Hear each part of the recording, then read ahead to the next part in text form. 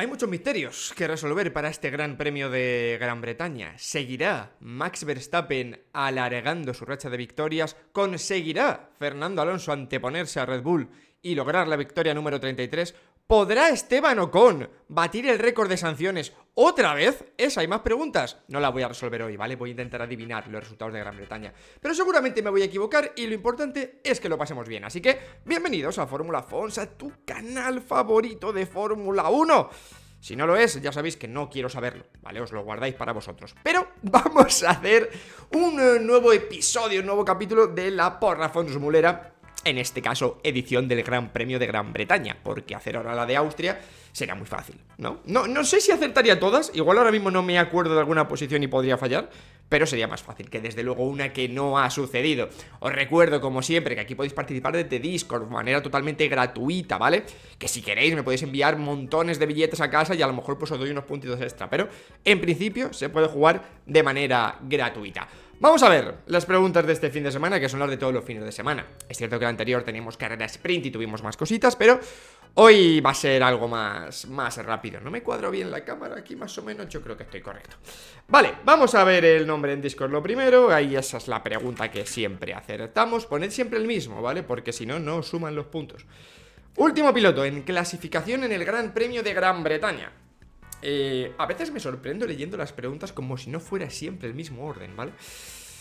Mm, el otro día acerté a, a, a Logan No, Logan Sargent no, acerté Nick de Bris Porque muchos ponéis aquí a Logan Sargent, lo tenéis como fijo Y el debate está ahí, ¿no? Entre de Bris o Sargent y tal Inglaterra Gran Bretaña, Silverstone Yo veo a Williams que dio un pequeño pasito hacia adelante en Austria yo voy a decir Nick de Brisa aquí otra vez, en la que igual es su última carrera en Fórmula 1, ¿vale? Yo estoy un poco con la pedrada y tenéis algún vídeo en Fórmula Fons hablando de que Daniel Ricciardo está calentando por la banda cada vez un poco más, más fuerte, ¿no? Que también hablan desde Red Bull, de las posibilidades de Liam Lawson y tal. Pero bueno, de Bris, ¿vale? Es difícil acertar esto porque al final, incluso siendo el piloto con menos ritmo, pueden pasar cosas, ¿no? Eh, puede pasar que un piloto a priori del top 8 se vaya en Q3 al muro y, ya estaría. Aunque pillar un muro en Silverstone, bueno, Hamilton y Verstappen, ¿no? En 2021, al final Hamilton lo llevó al muro a Verstappen. Y mira que estaba lejos. Eh, mini pole. Un décimo en clasificación. Vale. A mí esta posición siempre, siempre, siempre, y no sé por qué, me huele al pin. Siempre. No sé por qué, me sale un Gasly o uno con en esta posición. Y viendo el saltito de McLaren, es que Norris yo lo veo más delante. Quizá Piastri tampoco es una mala opción, para este un décimo puesto, pero voy a poner a, Pierre Gasly porque es lo primero que se me ha ocurrido, vaya. La pole, amigos. Vi en Austria muy fuerte a Ferrari. Que sé que esto es algo que para qué lo digo, para qué me complico, porque voy a cometer el error de confiar en Ferrari, qué clase de persona soy. Me gustó lo que vi de Ferrari en Austria. Y creo que el sábado, o sea, el sábado, la jornada de sábado, es la única jornada en la que Red Bull tiene competencia. Siempre y cuando no haya una carrera sprint, ¿vale? Si no, tampoco.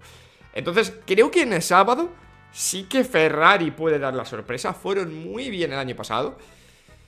Y después de lo visto en Austria, yo voy a decir que la pole va a ser Leclerc. Un poquito mi, va a ser casi mi cosa más arriesgada, ¿eh? No voy a arriesgar mucho más. Pero creo que el sábado Leclerc es contendiente a poderse llevar la, pole. No le doy apenas opciones de victoria el domingo, salvo problemas para Verstappen, ¿vale? Pero ahí le pongo en, en esa pole a Leclerc. Tampoco sería la primera pole que no transforma en victoria, ¿vale? Leclerc, precisamente. Vuelta rápida, el Gran Premio de Gran Bretaña. Eh, ¿Hará Verstappen otra vez lo mismo? ¿Dominará otra vez con tanta ventaja que vuelva a hacer lo mismo? ¿Qué hizo en Austria? Yo le veo capaz. Max Verstappen. Yo le veo capaz. Le veo capaz. En alguna carrera le tiene que pasar algo a Verstappen, lo decimos siempre. Pero como no llega, yo voy a seguir apostando que, va a ser el mejor. Primer piloto en pasar por pit lane. el primer piloto en pasar por pit lane, pues puede ser, qué sé yo. Mm, siempre me sale aquí un hash, ¿no? Igual que tengo la de la minipole para el pin, la de quién va a llegar con un aerón roto a box. Hash. siempre me sale, ¿no? Eh, pero voy a poner esta vez. no sé, no sé, no sé. ¿Quién puede tener un toquecito en la salida? Voy a poner a. a Debris. Va a ser muy mal fin de semana para Debris. Muy malo. Ojalá me equivoque, ¿eh? pobrecillo. No tengo ningún problema con Debris. Pero le anticipo problemas al pobre, al pobre Debris. Último clasificado, incluyendo DNFs del Gran Premio de Gran Bretaña. Eh, pues, pues, pues, pues, pues, pues, pues. Vale, este es el último clasificado de la carrera, no la clasificación. A ver, si soy congruente pongo Debris también, ¿no? Porque sé que le estoy dando todos los palos de este fin de semana. Pero se le puede romper el motor a Wang Yuzu en la vuelta 7, ¿vale? Y no hay nada que hacer. Mm, pero voy a poner Debris. Debris puede ganar esta carrera. O sea, hoy la predicción que estoy haciendo es para que Debris gane esta carrera, ¿vale? Décimo clasificado del Gran Premio de Gran Bretaña. Vale, empezamos con las zonas de puntos, ¿vale? Las zonas de puntos que este año están más caras que nunca. Eh, a ver, ¿puede rascar un Alfa Romeo? No vi mal Alfa Romeo del todo en Austria, botas. No sé, no sé, no sé, no sé. Mm, a ver, en carrera normal, en carrera canónica, te diría que un Alpino, un McLaren también por estas posiciones, ¿no? Pero siempre puede haber un Haas que te da sorpresa. Voy a poner a Nico Hulkenberg. Voy a poner a Nico Hulkenberg, porque el otro día en Austria estuvo muy bien. No digo que sean exactamente muy parecidos a Austria y Silverstone, que tampoco son los circuitos más diferentes del calendario entre sí.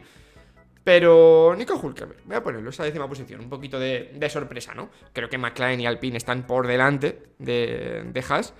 Pero si pasan cositas y... Va a haber degradación de neumáticos seguramente, pero si pasan cositas, puede que Hulkenberg dé de la sorpresa y rasque algún puntito para la casa Haas. Tercer clasificado de Gran Premio de Gran Bretaña, vamos con el podio, ¿vale? Eh, aquí no me voy a... no me voy a calentar mucho. Yo es uno de los primeros fines de semana en los cuales voy con algo más de dudas respecto a Aston Martin, ¿vale? Después de lo visto en, en Austria. No sé qué circunstancias habrá en Silverstone. A día de hoy se habla de que puede llover, puede no llover, tal, pista fría, pista tal. Yo creo que no es una locura, desde luego, que Fernando haga podio en este Gran Premio. Pero por si acaso voy a poner a Leclerc en tercera posición. Creo que Ferrari, después de lo visto en Austria, parece que tiene un poquito más que, Aston Martin.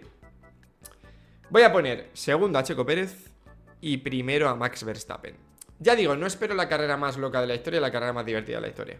Pero eh, sí que veo otra victoria de Verstappen, doblete de Red Bull, y que ese tercer escalón del podio se lo lleve esta vez Charles Leclerc. el duelo va a estar ahí, el duelo va a estar entre Leclerc, entre Carlos, entre Fernando. Vamos a ver si Mercedes mmm, espabila después de lo visto en Austria. También deberían estar ahí Hamilton y Russell. Va a ser muy bonito, pero creo que Leclerc aquí puede, puede conseguirlo. Ese, ese podio.